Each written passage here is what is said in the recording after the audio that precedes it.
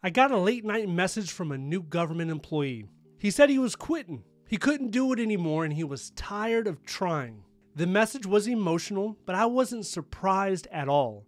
In fact, I told him this would probably happen. This guy's in his mid 30s, spent about 10 years in retail management. He first called me last year. He wanted to get a government job in finance.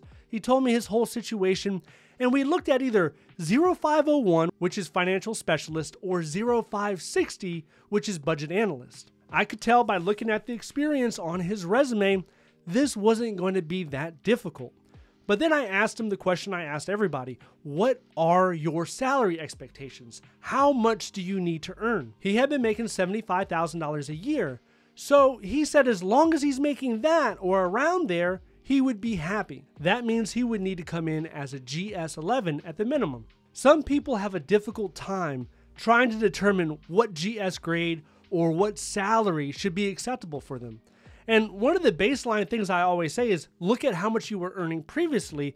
That should be a minimum. You shouldn't have to take a salary cut. Part of your government job search strategy needs to include a GS grade range. So then I helped him with his resume, made sure everything on there, all the achievements were speaking to the 0500 job series and also to the job announcements he was applying to. Because if you're not changing the language, if your resume does not appear relevant to what you're applying to, you're just going to waste your time. You're going to accumulate a lot of rejections. If you are currently looking for a federal government job and you're interested in attending federal virtual hiring events where you could potentially meet someone that works in human resources, you can meet a hiring manager. I will send you out a list every week of all the federal hiring events that are occurring virtually. So you can attend it anywhere on your couch, in your bed, doesn't matter. If you want me to email that to you, sign up to the free newsletter down below. Okay, so the plan with this guy was to apply in Tampa and Orlando, those two main cities in the GS11, GS12 grade range. Also looking at the 0500 job series, right? Do that daily. And he did that. Several weeks go by and he lets me know, hey, I got an interview. Hey, I got a job offer. I just accepted a job offer with the Department of Defense.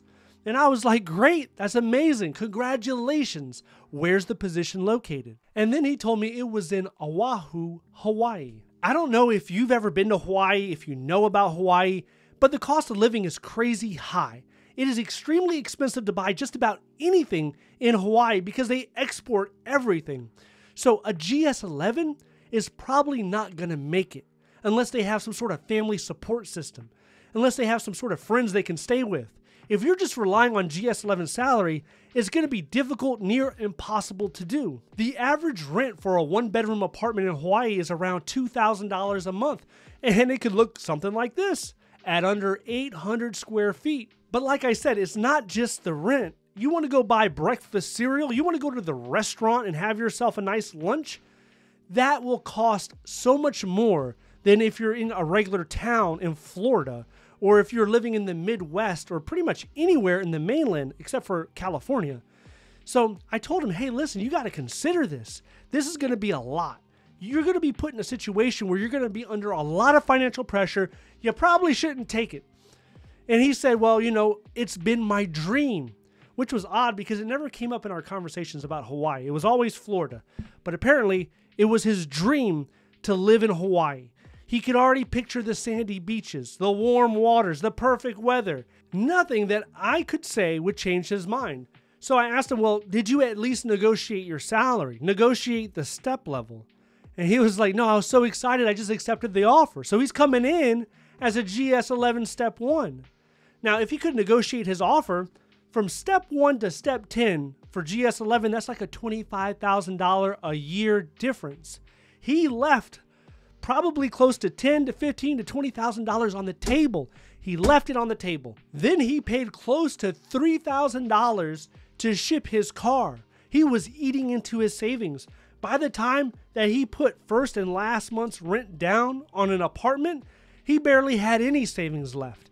And then he started to get his paychecks after about three, three and a half months, he realized it's not feasible. I cannot do this any longer. So he ended up quitting that job and coming back to Florida. Now, there's nothing wrong with quitting a government job. You can quit and apply and reapply and apply as much as you like. Some people have this idea that there's a blacklist, that if you accept a job and then quit after a week or a month or a few months, that you're going to be placed on some sort of list.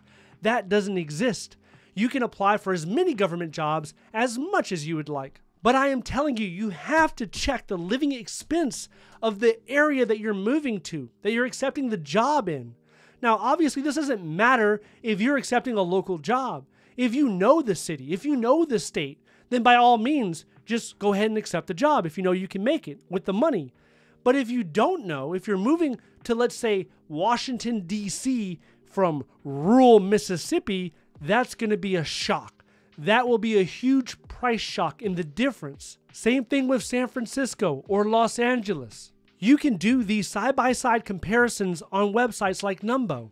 I'm comparing Hawaii and DC here, and you can see that the rent is less expensive in Hawaii, but the groceries are a lot more expensive. You can compare all kinds of different things to get a good idea of the difference. So make sure that you are studying the area and at least try to negotiate your step level. Do it one time, and if the agency says no, that's fine. And in addition to studying it with the website, looking online, you can reach out to people that live in that area, government employees that are already there. You know, maybe have a conversation with them and ask them is a GS 11 enough? Is a GS 12 going to be sufficient in Germany? Or whatever the case is. Otherwise, you're going to find yourself in a similar situation where you're accepting a job and then a few months later you're forced to quit. Now, if you're still looking for a federal government job, I did a live stream recently answered over a dozen questions on the federal hiring process, on usajobs.gov, on different government jobs. If you're interested in that, I want you to watch this video next. If you would like to see more videos like this, please click like and subscribe. Thank you so much for watching, and I'll see you in the next one.